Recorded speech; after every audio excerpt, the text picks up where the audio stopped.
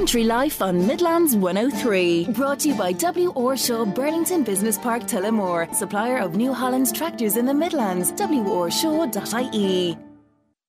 And you're very welcome to Country Life here on Midlands 103. It's MJ Clery with you until 8 pm this evening, bringing you details from the Midlands and further afield from the worlds of food, farming, and agri business. Now, thank you all for joining me as usual here on the programme on this Wednesday evening. It's the 4th of September 2024. And what would we say about the weather over the course of the last seven days? Changeable.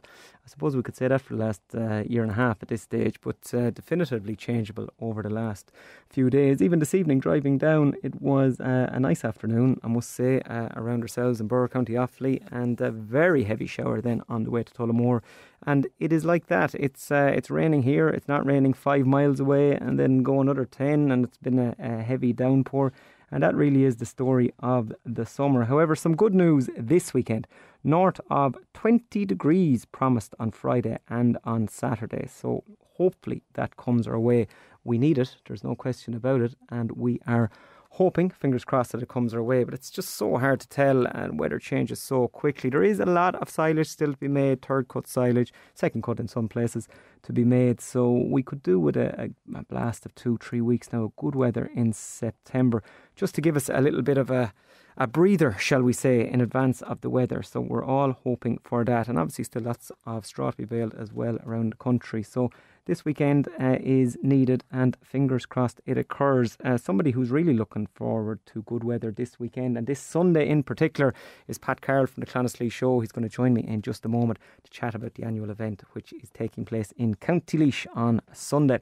Also, this evening, David Layden from IFAC joins me to chat about their seventh food and agri business report, where the forecast is that the agri food sector is poised for further growth. However, 81% of companies surveyed stated that they have seen a rise in input costs in the last year, and that, coupled with the fact that almost half of businesses surveyed stated that they couldn't meet the salary expectations of potential new employees.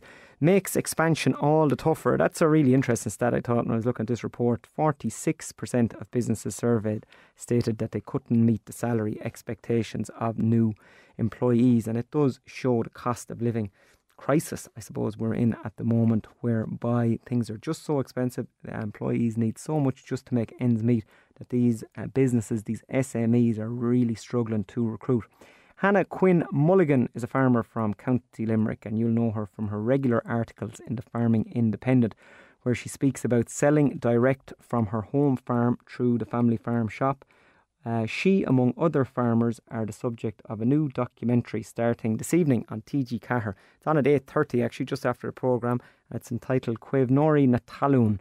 Uh, we'll hear about it from Hannah a little bit later here on the programme. There are six farmers. I think it was shot over 2022 and 2023 and it follows them over the course of a period of time.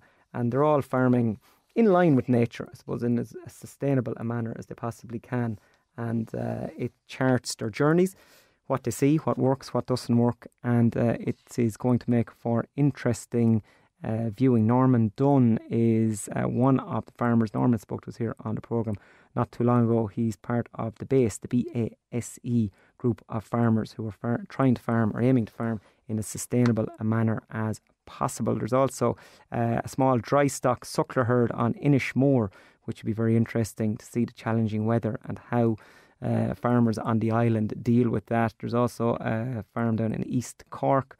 Uh, there's another one in County Clare. And uh, as I said, Hannah Quinn Mulligan from Limerick and a Norman Dunn. Uh, he's in Maynooth. And that is taking place this evening. It's at 8.30. So we're going to talk about that a little bit later. Also, the Health and Safety Authority have, as of Monday of this week, launched a farm inspection campaign. So this is running for two weeks, so this week and next week. And it's focusing on safe work at height. Darren Arkins from the programme will join me later to chat about just how dangerous a fall from height can be and how renting something like a cherry picker could be the best decision you've ever made in your life. There was an accident from height, unfortunately, on a farm just this weekend gone. I was speaking to Darren earlier, and uh, the important thing about this is not to provoke fear into farmers. I don't want you thinking, oh my God, someone's going to come in around the corner here from the HSA and they're going to end up uh, finding this wrong and that wrong. Uh, if you get an inspection, they're unannounced. And look, it's unlikely to be honest because uh, it's only running for two weeks and there are so many farms all over the country. It is more so to give you some guidance and some advice. And this is the time of the year, September, October, where things are that little bit quieter in the run up to winter. And we are keeping an eye now on sheds, saying to ourselves, maybe, well, as late as possible, hopefully, but into November, uh, late October, cattle will be going in. So you might be looking at an eave run that needs to be cleaned out or a downpipe that isn't working. And these are all the things that you might tackle with a ladder However, that mightn't be the wisest decision, and Darren's going to speak to us about that a little bit later. Now, as always, text me or WhatsApp me here on 083 30 10 103. Be happy to put anything to our guests this evening. Now, as I said at the outset, one man who's looking for good weather this Sunday in particular is Pat Carroll from Clonaslee Show. Uh, is it going to happen, Pat? What's the weather going to do on Sunday? Predicted for me, please. Well, sure, MJ, we're praying and hoping uh, that it will be fine overhead anyway. I know the weather forecast is giving very good Friday, Saturday uh, looks good. Sunday, we're just praying and hoping that it might just hold off for us. Um, because last year we had a real, real good start to the day, and in the middle of the day it just poured down on us and destroyed our crowd. And uh, that's the last thing we want, you know. So we're just really, really hoping massive effort being put in uh, by our committee to try and make this uh, show, especially it's the 70th year, and um, we're just trying to pull out extra stops this year to make it uh, a little bit extra special because of the 70th. Yeah, it's been on the go, as you say, had 70 years, and that's a phenomenal uh, achievement in itself to have uh, have it running for, for this long. But look, back in the day, I suppose 60 odd, 70, 50 years ago, uh, when entertainment was light on the ground, these shows were the be all and end all of the farming community. But something I've noticed in the last couple of years, especially with the challenges we're facing in agriculture as a result of everything we have to do to keep our heads above water, but also the weather the last couple of years. We are seeing more and more interest in shows, bigger crowds. We saw the biggest crowd ever at Tullamore Show back a few weeks ago, and people are, are flocking to their local shows and to these shows in order to get a bit of a breather and to just chat to a few people and have a good day out and have a have a break from it all. Oh, absolutely. And, you know, I was walking in Tullamore Show this year and uh, I seen all that. And um, Yes, it is. Uh, you know, it's more of a family event now, with you know, uh, incorporated with an agricultural show. There's a lot of side attractions that people go. They get out and they have a bit of a chat. They might be after having a bad week, that be weather-wise or price-wise, and things might be going. And they all meet up together and they have a bit of a chat and a bit of a banter, and um, they kind of forget about it there for for that day. And especially if the sun is shining overhead amazing way the the agri sector uh, we're very weather orientated, and if we get a little bit of fine weather, we're all buzzing again very very quick, and we forget about these big heavy showers that we had this evening very very quickly. You know, so just that's a thing that you know over the last couple of summers is is playing hard on on, on everyone. Because they're getting it hard to get their crops, they're getting it hard to maybe make ends meet. Expenses, as we all know, are very, very high, and no real sign of them dropping down that much uh, in the near future from what I can see in the agri sector. Yeah, absolutely, and that's what we're going to be talking about a little bit later, Pat, here on the programme, is um, agri-food businesses and feeling the hit of those increased input prices. Just uh, a few of the categories that people are drawn to at the Clonaslee show, and you have some great uh, prize money on offer. One of those is the All-Ireland Championship Best Heifer or Bullock, any age or breed. Anthony Marder in Clonaslee is sponsoring it, and it's uh, a big price, fifteen hundred euro. You're going to get a big, big, big uh, increase of um, competitors for that one, uh, Pat.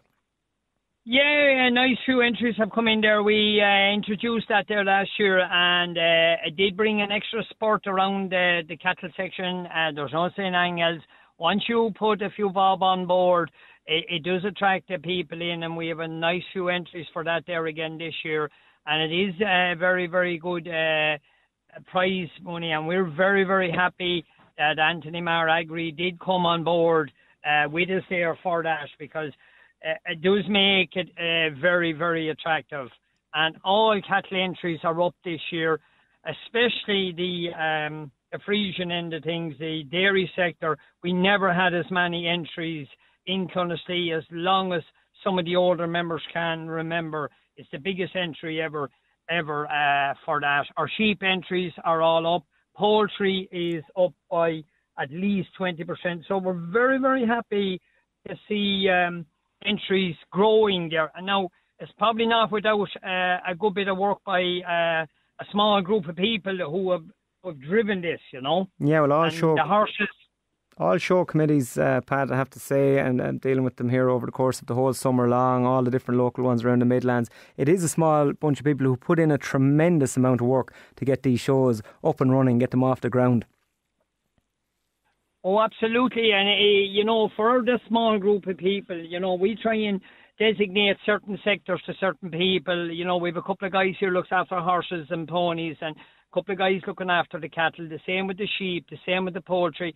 Uh, but it's only, you could count them on one hand, but it's night and day now for the last uh, fortnight, three weeks, and every night this week now, we, there's something for somebody to be doing. Uh, currently now we're here just getting up uh, uh, sheep, sheep pens and stuff like that, and um, um, it's just shoulder to the wheel now and, and, and driving it on. Yeah, and I'll go. A couple of the big ones you are well known for as well in Clonaslee Show, Pat, and that's the, uh, the Gain All Ireland Dog Championship. You also have All Ireland Belgian Blue Junior Bull. Uh, the Young Handlers is a big one, again, keeping the younger people interested in, in this, and they're the future of all these shows. You have young handlers in cattle and young handlers in the sheep section. And one as well, which does draw a, a big crowd, and it's uh, old school, but I see them coming back more and more. That's the tug of war. Always a good bit of crack.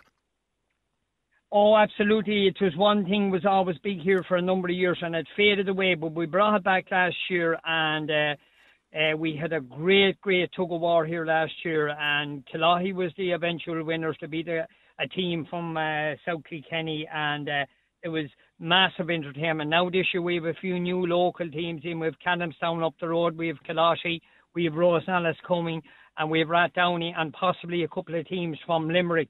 Uh, huge interest in that, and uh, that does bring an extra group of people to the event, and it's always a great thing to uh, maybe finish off your day. We try and push it out that the cattle judging and the sheep and all that judging is nearly over, so then people can get a chance to come over because there's always a number of people who have friends that's pulling to go war and brings a great banter between the parishes around here now. We find it really, really um, a, a, crowd uh, catcher. Excellent, uh, Pat. Look, there's also music there, Rock on Paddy D. Morrissey, and uh, there's going to be lots on offer on the day. We'll let you go, Pat. We'll say fingers crossed for the weather on Sunday. Look, it's a great family event, great community event. You're putting a lot of work into it, so hopefully people can make the effort and pop over to you on Sunday in Clonaslee. Many thanks, Pat. Thanks again, MJ, and uh, hopefully we'll have a fine day. Adults, 10 euros each, children go free, so uh, feel free to come along and uh, enjoy your day. Uh, great stuff. Pat Carroll there from Clonaslee Show, as we said, that's taking place this coming Sunday. And at 10 euro for an adult and free for a child.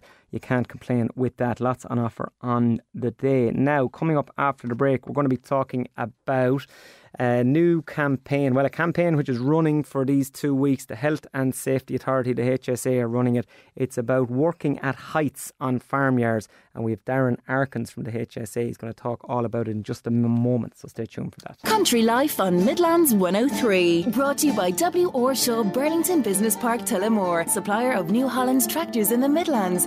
worshaw.ie. And you're very welcome back to Country Life here on Midlands 103. Now, we are moving on to working at heights on farmyards, and we have Darren Arkins from the Health and Safety Authority on the line. Darren, many thanks for taking my call this evening on the programme.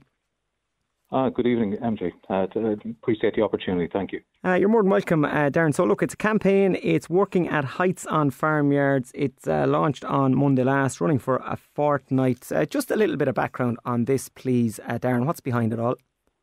Yeah, absolutely, MJ. Um, yeah, so we're running um, a two-week campaign, and we we do this every year And we try and run our campaigns uh, prior to what we consider like peak activity times for, for certain um, uh, works on, on farms. So you, you might remember we, we ran a campaign just before last summer on tractor and machinery uh, safety uh, just before the silage uh, season kicked in. So again, uh, this this uh, campaign we're running over this two weeks is focused on working at heights, and we're trying to get out the farms really before the farmer will consider, you know, they may have some maintenance or repair work to do coming up in the next month or two.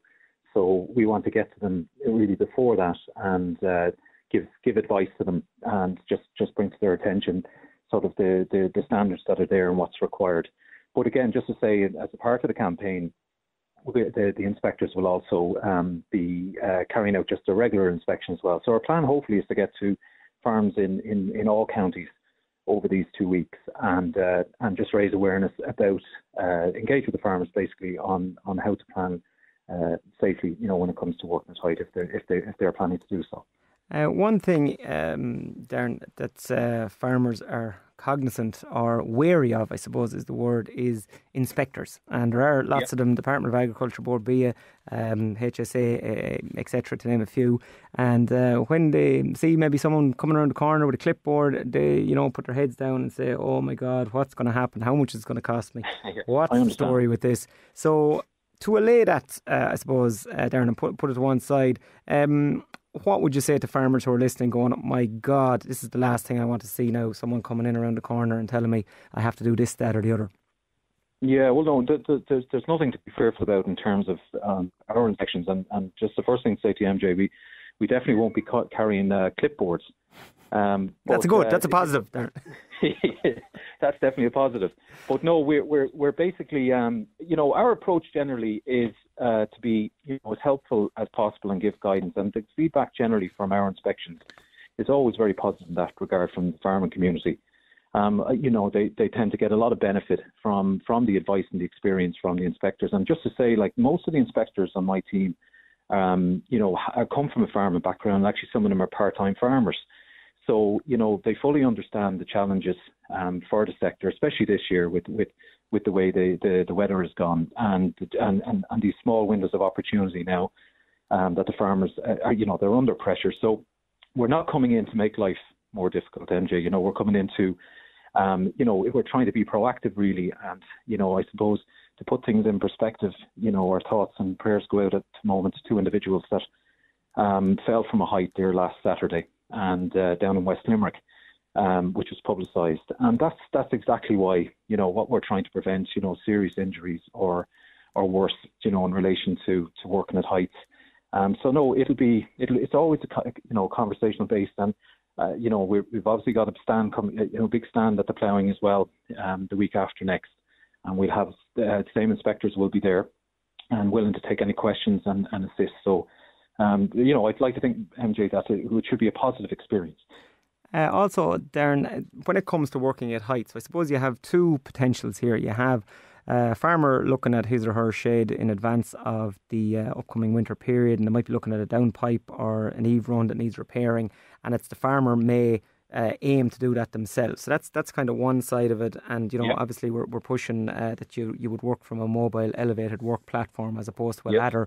Fairly straightforward get someone to help you harness in, you know, if you're going to do it and, and, and work, you know, in a, in a safe uh, manner. Now, the other side of it is for a lot of um, shed works or roof works or repairs, you're going to bring a contractor in. Um, also, now there is a big push on solar. There's lots of solar panels going up on yep. farm sheds. Uh, also, so look, the farmer's not really going to have much to do with that. They're going to see the contractors going up on it. But something that you did uh, roll out earlier this year, uh, Darren, and this is something that is widespread in the construction industry, but not so widespread in the agricultural uh, industry, is an agreement whereby the farmer and whoever's going up in the shed sign a little simple contract uh, that basically yep. ag- uh, make an agreement about this. Can you just elaborate on that kind of simply for us? Yep. What's that about? Well, look, you've, you've put that very well yourself, MJ. Um, yeah, so so basically, um, I think what's sometimes underappreciated is that you know anything but minor repairs, you know, are considered construction work, um, which sounds which might be difficult to understand, you know, if you're repairing or replacing sort of roof sections, you know, that's actually construction work, and then um, the construction regulations apply, and what's required then is that the, there'll be a written appointment with any contractor that's coming in to carry out that work, that they will become the project supervisor for that work. And and in order to, you know, and that's that's a common uh, common transaction that goes on, say, in the construction sector, as you said. Um, so what we've done is we've uh, produced uh, a document in, in conjunction with our Farm Safety Partnership and our Construction Safety Partnership uh, called How to Make Your Construction Appointments for Your Farm. And it's only a six, seven page document. and it's very easy to follow and it explains the steps required and actually provides a template that the farmer and the and the contractors can fill out and sign. But like there's significant benefits. Um, not only it's well, not only is a legal requirement uh, to make those appointments, um, but the benefits to the farmers that you know he is protected or she is protected, you know, um, under the law as long as they've made those appointments. And um, but also what it does, it puts the onus then on that contractor to fulfil his duty under the construction regulations as a project supervisor for the design of that work and for the, the actual implementation or the carrying out of that work. And that significantly should reduce um, the possibility of a serious accident um, on, on that job. So it's a tried and trusted way of, of managing these construction projects.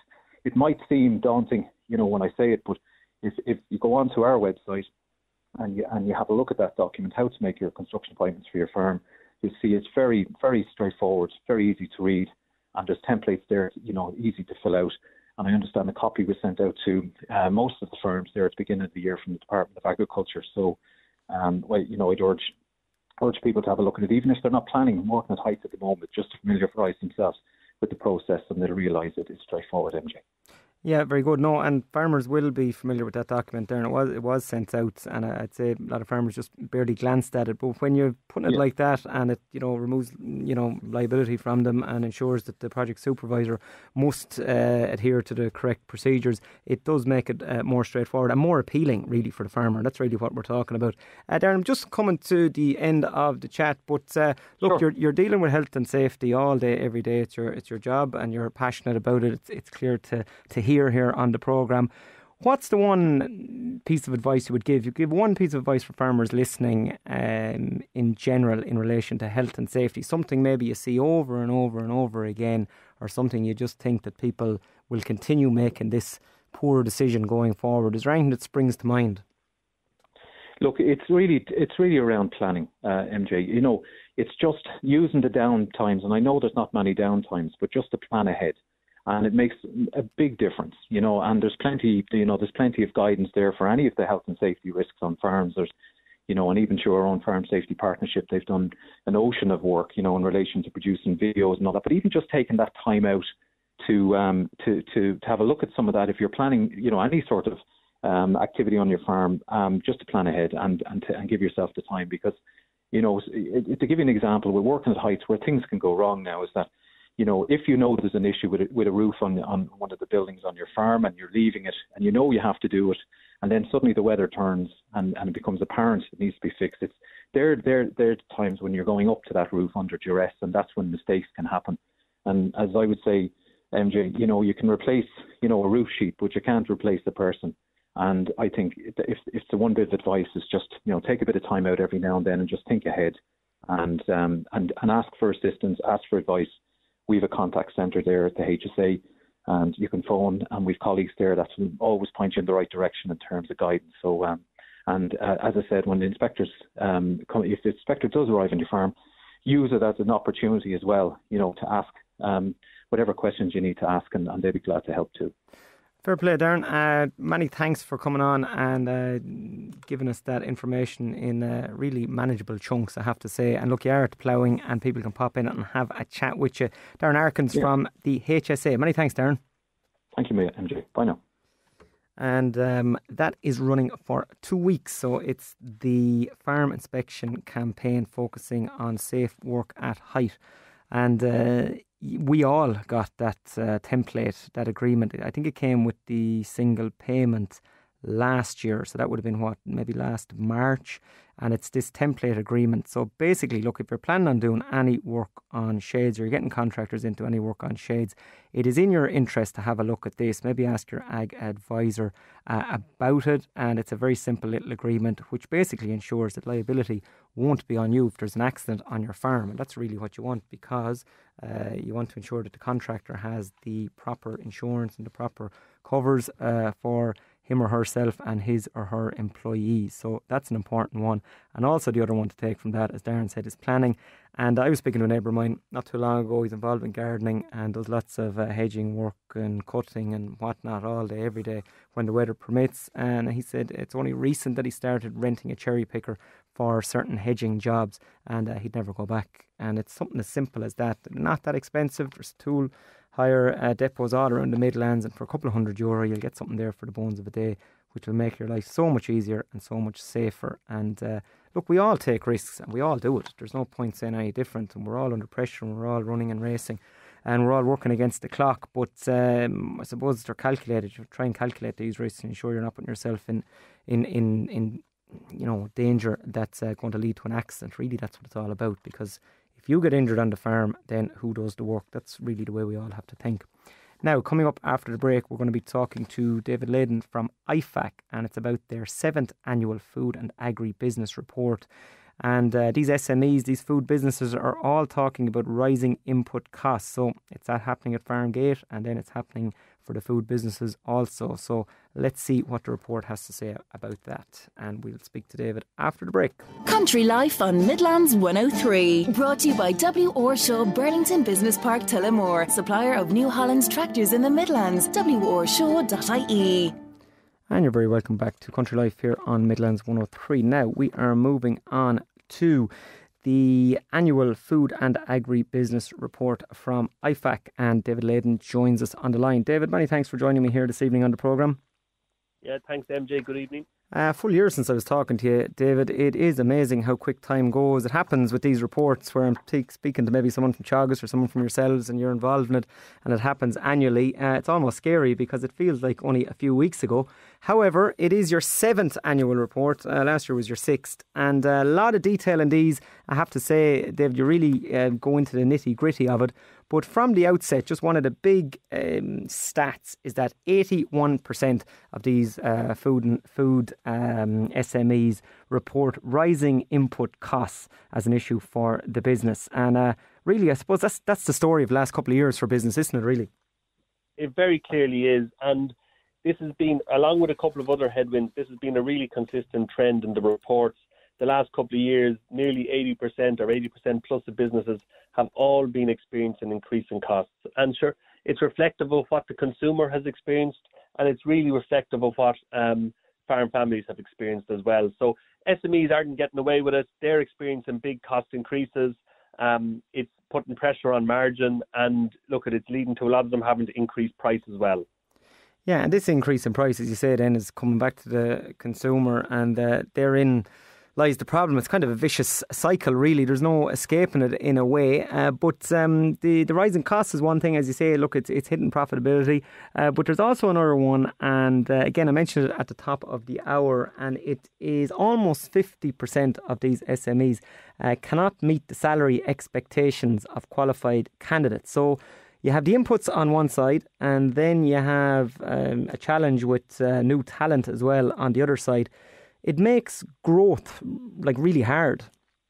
It does. It makes growth difficult, and the employment and recruitment area has been a big issue for the last couple of years. And even in this year's report, three in four businesses find it difficult to recruit the right people. Right, so that's consistent in the reports. And in terms of the salary expectations, you know, there are big salaries available in other sectors. This is a great sector to work in. Sometimes the margins are quite tight. And when you're looking to build great teams, um, salary expectations do come into play and it can be a challenge. So, yeah, 46% are, are, are struggling to meet salary expectations, especially when building their international teams. Uh, for these SMEs, uh, what kind of, if you could grab one of them and and uh, give it a fictitious um, name or a profile, like what are we talking about, kind of turnover wise and um, staff numbers, if you were given an average of uh, who takes part in the survey? Yeah, so in the methodology, you'd see there that um, you know 25% of the companies surveyed are under um, 10 employees, 31% have between 10 and 49 employees, and then another 21% up to 250 employees, and then 250 plus employees are 11%. So there's a lot of figures, but mm. um, that's sort of the range. So you're getting the full range from that small business, maybe five or six people, all the way up to you know a number of larger businesses. So we we surveyed 124 business leaders. Um, everything from the likes of Alco to you know ag tech startups like AgriData Analytics, JFC, Finnegan's Farm. There's a whole range of them there. Um, a good few based in the Midlands as well. So there's a good range, um, and many of them are facing some of the same same challenges. Uh, who are you seeing is having the biggest challenge? Is it the you would you would automatically think, but maybe I'm wrong, that it's the smaller of the um, the SMEs, those maybe four, five, six employees, or is it in fact the larger ones that are that are finding these rise of input costs and the higher salaries and whatnot? Who, who's the one that's under most pressure, or is there an answer to that? Um, it depends, right? It depends at your stage of growth. If you're very comfortable with five or six people and profitable, then you're fine. It's when you're making the jump to 10 or 15 people that it can become challenging. And the same way all along the way up, right? So as you make the jump from sort of one, sort of you're, you're comfortable, let's say 100 employees, you know, you're profitable, things are going well. But to make the next step up, you need to invest a lot in capex. You need to invest in new markets. You need to invest in a different type of employee then it gets tight again. So actually, there's small companies that are very comfortable, and there's small companies under pressure, and the same um, for medium and for larger organisations. I suppose one thing that we do focus on: one in three companies um, are experiencing short or medium term cash flow issues, mm. and that's really, really big red flag for us. And any company that we're working with that has a cash flow issue, you know, we have to focus on that immediately because you can lose money on your P&L for a year or two, but if you run out of cash for one hour, the business is over. You're gone. So cash flow, you know, it is concerning to see one in three businesses, you know, experiencing short or medium term cash flow issues. Yeah, it really is. Uh, the report is indicative of what's happening on the ground in farming as well, uh, David. As you know, as you're well aware, I've been involved in IFAC, but uh, cash flow is the is the issue now on farms as well, as a result of just being squeezed, you know, for the last kind of year and a half.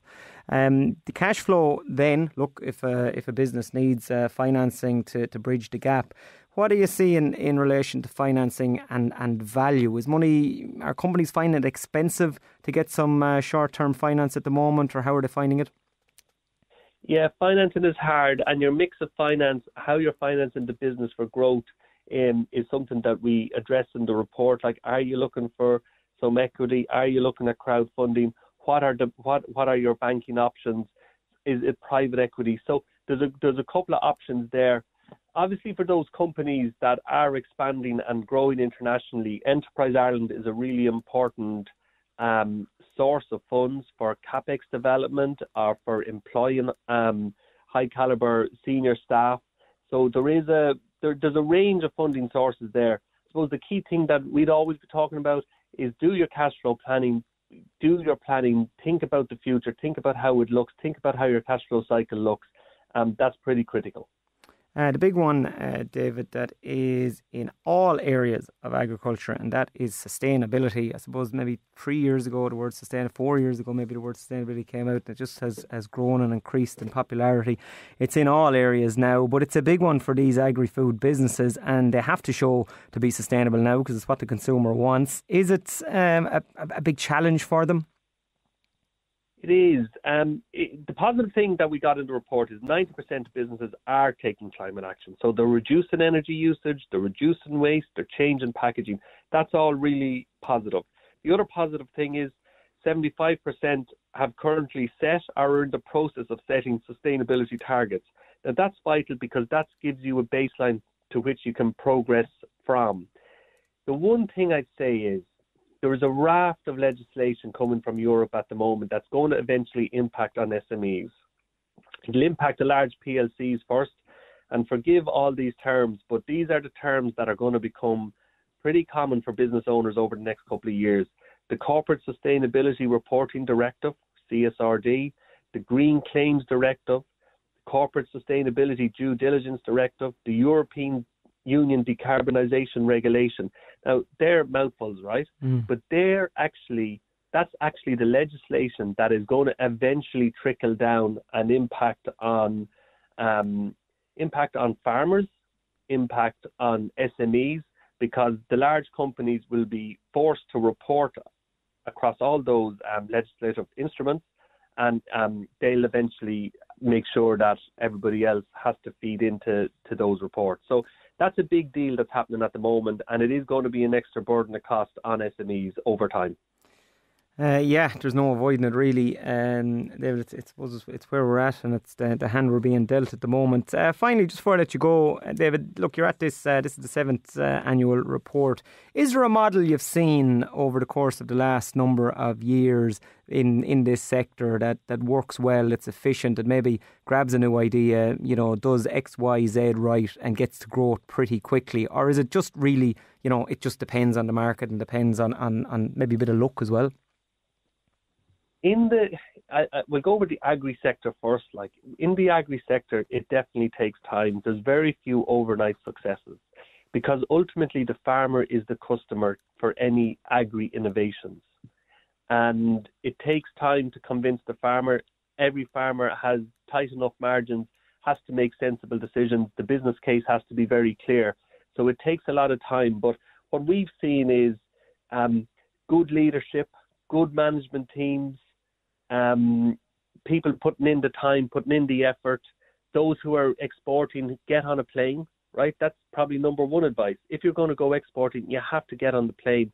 And we feel that, especially in Ireland where dairy growth has plateaued, if a, a agri business or an ag tech company is going to grow, they have to be focused on export. And that's why we focused this report on internationalization. You have to get on the plane. You have to put a dedicated person in charge of international growth. You have to give it time. You have to put in the right tax structure. You have to do your international due diligence, get the right distributor. So, um, those businesses that we see as being most successful have very good leadership, are a very good owner or managing director, um, and they are thinking about export and accelerating their export journey. Hmm. Yeah, very interesting. Look, I could talk to you all evening, to be honest with you. There's so much detail in it. It's available online and it's well worth having a flick through. Uh, hopefully, I'll speak to you before this time next year, David. But I'll say many thanks for joining me on the programme and giving us a rundown of the report. Thanks very much, MJ.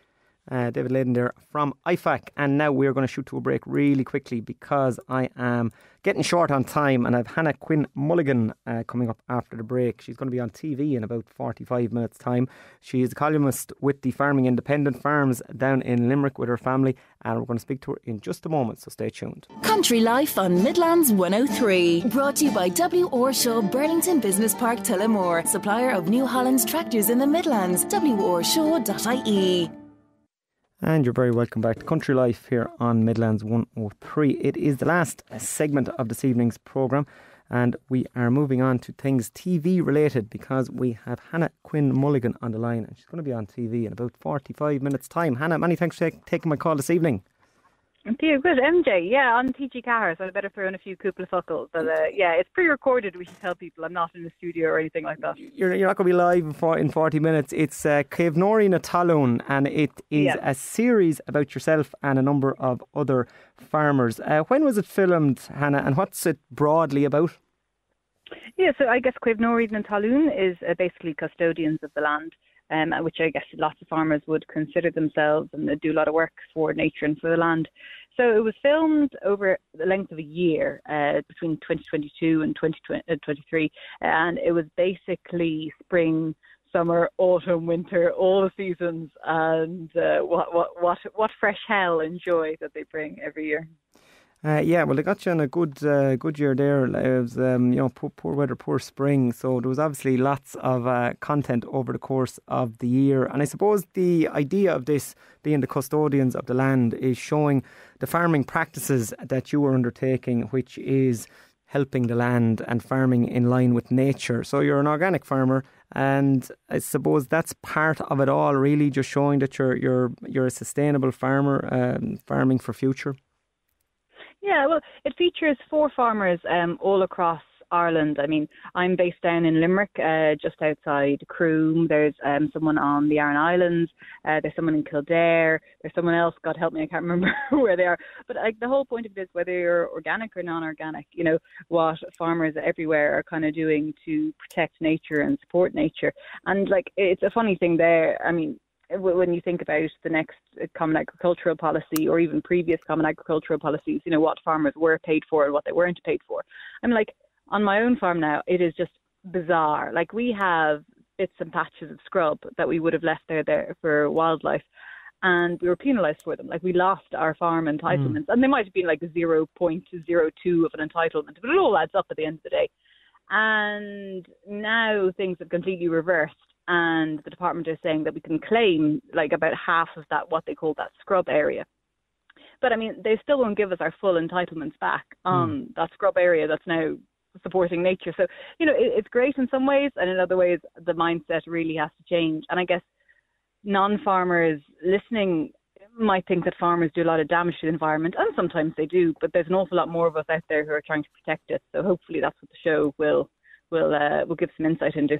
Yeah, no, it's a great point about the, uh, the scrub ground, uh, Hannah. I have to say, as a farmer said to me once, he said if you left a pair of Wellingtons out in the field when the eye in the sky was taking a picture, you'd lose point zero zero zero whatever it would be of the size of the Wellingtons on the ground. And I, I, I think it's every hour. Like I think the satellite passes uh, passes farms every single yeah. hour, and like it's a very blanket type of inspection. You know, it doesn't really pick up what's going on. Like one thing that was really nice, and we show in the show, say on our, my farm anyway, is that um, we're in the National Parks and Wildlife Scheme. There's not very many farmers in it. I think there's only 300 across the country, but they come out and talk to you and say, you know, direct one to one, and say, okay, you're doing this well, you're doing not doing that so well, but like, would you like some money to do things or to mm. improve nature? And like, we built ponds like they gave us money to build ponds. They gave us money to um, cut down conifer trees that weren't that were blocking out the broadleaf trees because obviously broadleaf trees attract more species.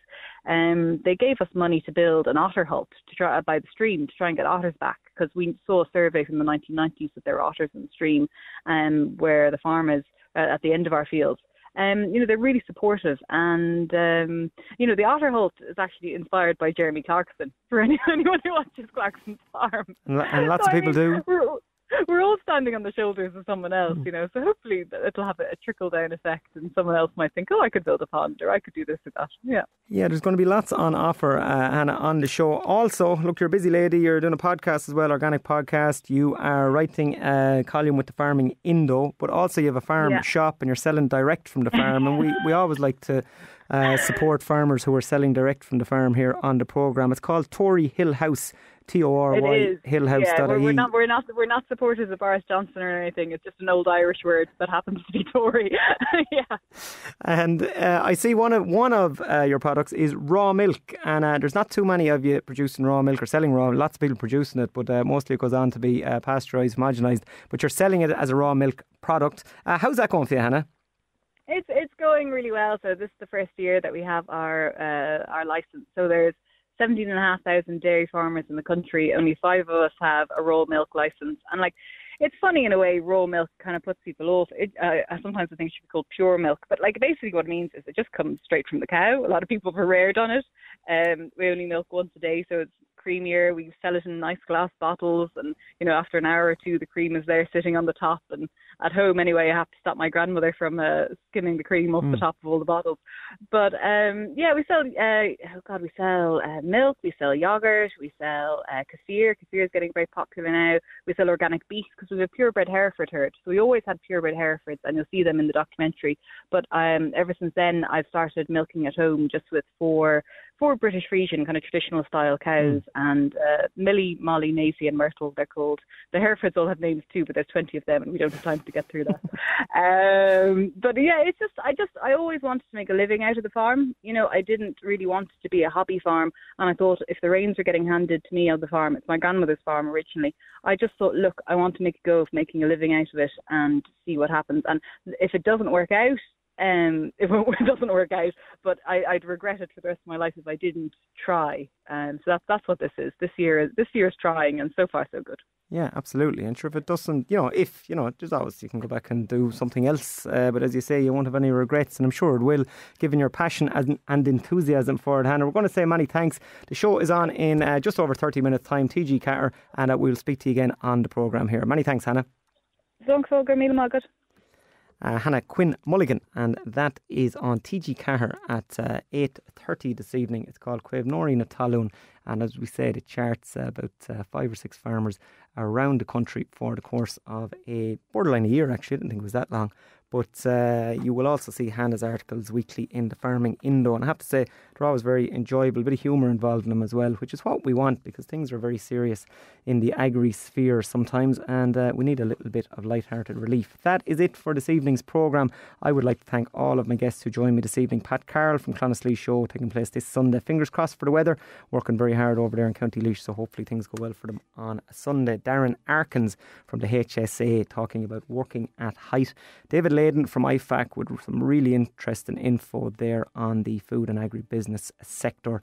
And Hannah Quinn Mulligan joined me just there from County Limerick. Tory Hill House is the name of her website if you're looking to pick up any of the produce direct from the farm. Show is repeated on Sunday morning at 7am through to 8am.